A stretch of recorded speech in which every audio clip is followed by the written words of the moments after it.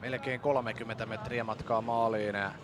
Näinköhän on, että sieltä Ilo lähtee jälleen pommittamaan vai onko, onko Holopaisen heiniä?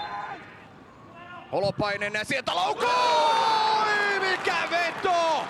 Ja näin rokottaa Holopainenkin vanhaa seuraansa. Hynynen teki sen ensimmäisellä puolella hirvittävä pommi.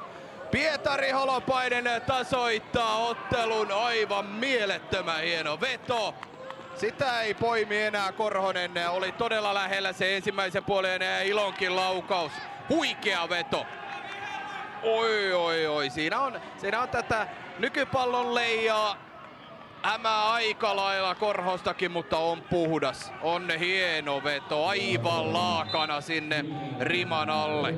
Todella hieno